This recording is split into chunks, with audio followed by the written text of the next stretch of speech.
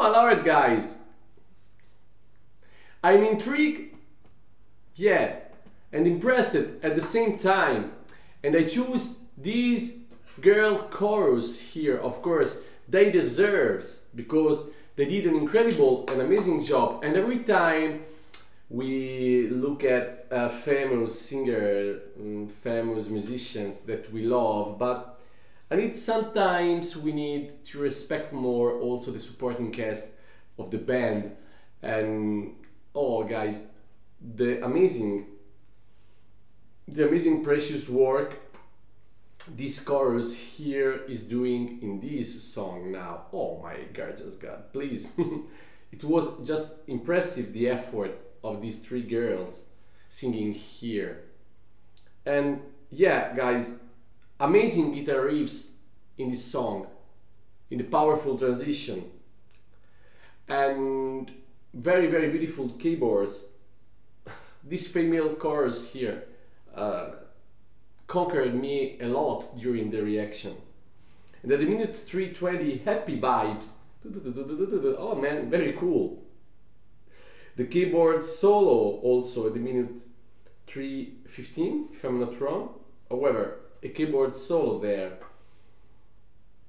And very special guest at the minute 415, Floor Jansen. But all these musicians are, of course, guests of Ayreon uh, man, you have to tell me everything about them. I didn't recognize, I was not able to figure out to recall all the all the musicians there. So I need your comment. And before mm, a little Italian, uh, yeah, guys, suggest me also something more.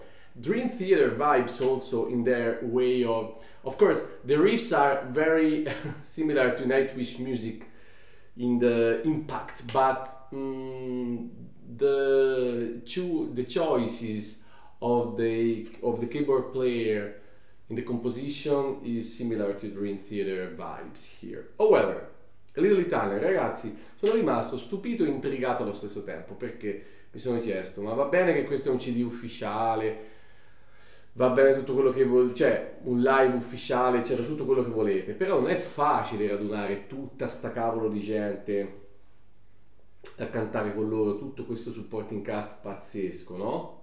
Di persone.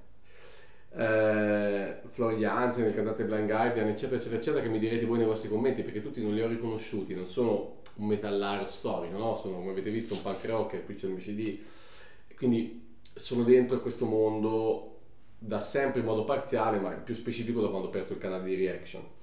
Ho detto che i riff sono molto belli, mi sono piaciuti molto e mi ricordano molto l'impatto che hanno i riff della musica dei Nightwish.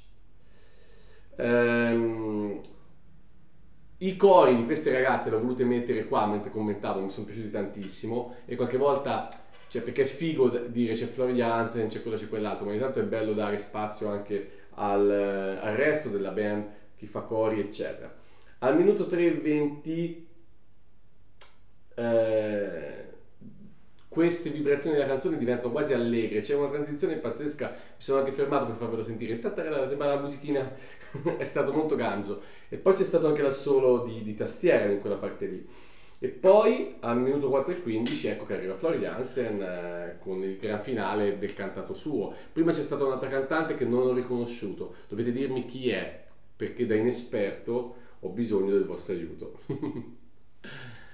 Mi sono divertito, suggeritemi altro. So suggest me more guys and check my first reaction I made to Iron. I mean, the day that the world breaks down here, part 1 and part 2.